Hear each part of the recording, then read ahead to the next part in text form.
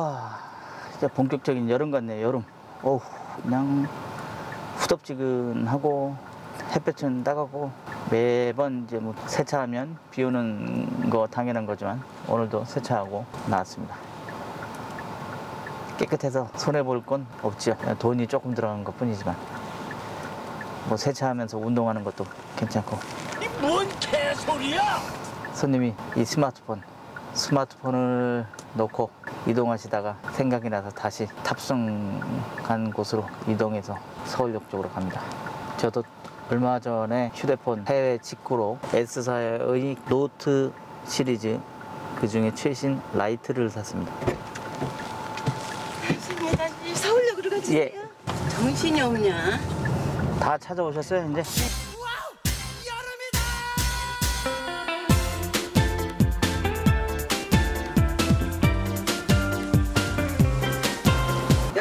20분 차 네. 용산에서 탈 수 있을까요? 용산에서요? 네. 아 용산 용산 용산 용산 가능은 할 것 같은데 가주세요, 그럼.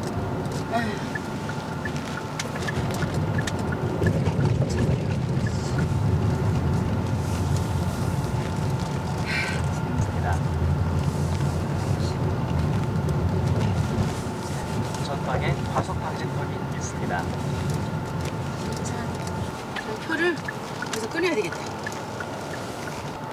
12시 15분 차 있고 12시 20분 차가 있네. 15분은 좀 빠듯하실 거예요. 그래요? 예.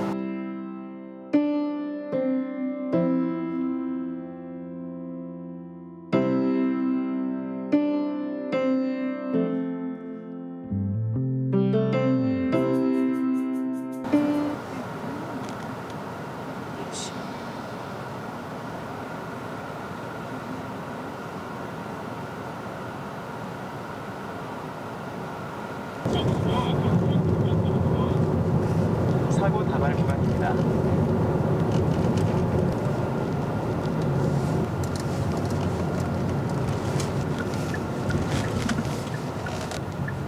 이건 너무한 거 아니냐고? 씨. 되게요? 계산은 미리 해드릴게요. 올리, 예, 올리세요. 영수증 어떻게 할까요? 필요 없어요.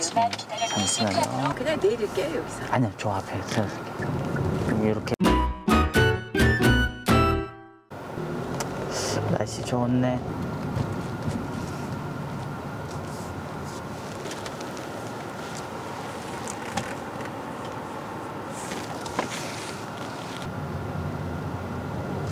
티벳 택시 배차 성공 승객이 탑승하면 6번 홀 승객 탑승 버튼을 눌러주세요. 주정차 단속 구간입니다. 안녕하세요. 전방에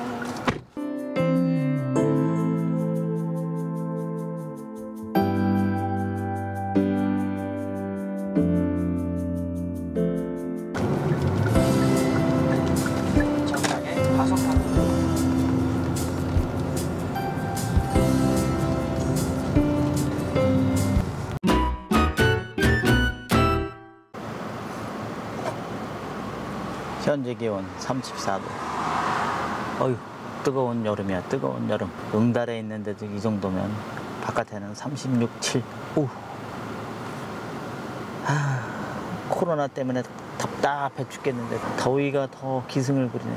세차했는데 비 오면 안 되지. 오랜만에 분당에 왔습니다. 분당에. 분당이 아니죠. 판교죠, 판교.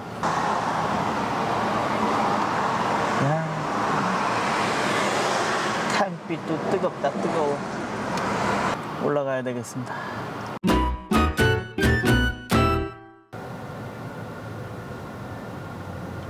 아침에 갔다가 오후에 늦게 이쪽에 다시 들어왔네요. 잠깐 쉬려고. 휴대폰을 바꿔가지고 이게 이제 갤럭시 노트 10 라이트라는 제품인데 약간 어, 지금 현재 시중에서 판매되고 있는 노트 10 어, 보다는 조금 떨어지는 그런 수준의 근데 이제 해외 직구로 구매했기 때문에 뭐 나름 만족합니다. 가격 대비 성능이나 뭐 이런 거. 제가 이 기존에 쓰던 게 노트 7 FE Fan Edition 버전인데 요것도 한 3년? 3년 조금 내 액정도 깨지고 이제, 이제 슬슬 메모리도 많이 쓰다 보니까 이제 좀 느려지고 특히 이제 네트워크 같은 게 중간중간에 끊어지더라고요. 아, 물론 뭐 와이파이하고 약간 좀 차이, 차이는 있겠지만. 그래서 저는 이제 휴대폰을 두 개 씁니다. 예, 요거는 전, 순수하게 전화로만 쓰고 기존에 있던 거는 어, 마카롱 택시하고 티맵 택시 요 정도? 그 다음에 뭐 내비게이션 정도? 그 다음에 나머지 어플은 다 지워버리고요. 깔끔하게 요거 전화도 없고 전화도 안 되고 바로 그냥 내비용으로만 쓰는 거죠 차에다 놓고 쓰는 거고 내비게이션이나 그다음에 콜 어플을 사용을 하고 어, 스마트폰을 장시간 켜놓고 있으면 그 잔상이 남습니다. 잔상이. 그래서 액정을 갈아야 돼요. 나중에는. 그래서 1년 정도 아마 쓰신 분들 보면 잔상에 내비게이션이 나오거나 안 그러면 뭐 어, 카카오 같은 경우는 이제 거절, 승, 뭐 승낙 뭐 이런, 이런 식으로 버튼이 보이거나 어, 지금 휴대폰 얘기가 나왔으니까 막 좀 몇 마디 좀 하면 예전에 한 14년도, 14년도까지는 스마트폰 쓰시는 분들이 별로 없었어요. 한 그때 쓰시는 분들 한 반 정도, 반, 반 정도 있을려나? 제가 어, 스마트, 스마트폰 호출 앱을 쓰기 시작한 게 이제 2014년도 초, 2013년도인가 14년도인가 그랬는데 이지 택시라는 거를 처음 썼거든요. 그래서 어, 나름 이제 스마트 호출 시대를 처음 열었던 게 이지 택시인데 이제 국내에서는 크게 못 컸죠.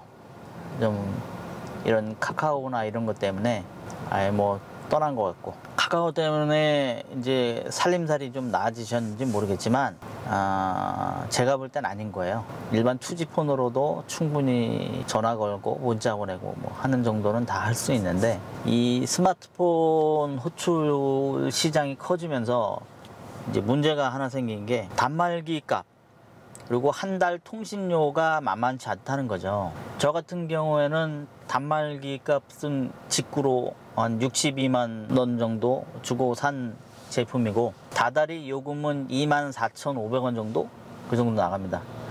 통신 약정도 없고 25% 할인 받아서 쓰는 거기 때문에 1년이면 한 25만 원, 부가세 포함해서 한 30만 원 돈 나간다고 봐야죠. 다른 분들은 어떨지 모르지만 보통 기계값 내지는 뭐 통신용 스마트폰을 제가 보니까 계속 키고 다니면 데이터를 야금야금 먹는 게 상당히 커요. 특히 내비게이션. 제가 알기로는 보통 1년에 50만 원 이상 아마 휴대폰 비용으로 다 나갈 것 같은 예감이 드는데요. 굳이 뭐 그렇게 해가지고 아둥바둥 콜 잡을 필요가 있나요? 하여튼 카카오 때문에 그 스마트폰 업체도 돈 벌어먹고 티맵 택시를 하고 있는 SK 같은 경우는 이제 가만히 앉아서 데이터만 팔고 단말기만 팔아서 자기네 마진만 뭐 하려 그러지 그리고 마카롱 택시 대변인은 아닌데 마카롱 택시에 대해서 약간 오해하시는 분들이 좀 계세요. 카카오의 대항마가 돼야 된다. 절대 안 되고요. 카카오보다는 좋은 시스템이다. 절대 아닙니다. 택시에 대한 패러다임을 바꾸려고 나온 거고 카카오는 자기들 돈벌이 하겠다고 나온 거기 때문에 태생이 틀린 거예요. 물론 마카롱도 돈을 벌어야 된다는 그런 점은 똑같겠지만 애초에 돈 벌라고 작정을 하고 들어온 거하고 환경을 바꿔가면서 자기네들이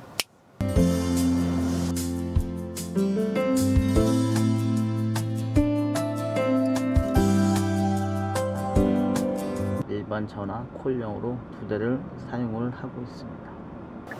대학로 가시는 손님 모시고 가겠습니다. 동네 근처에 볼 일이 있어서 때마침 콜이 떨어져 가지고 신호 걸려가지고 신호대기 하는데 금방 도착하겠죠.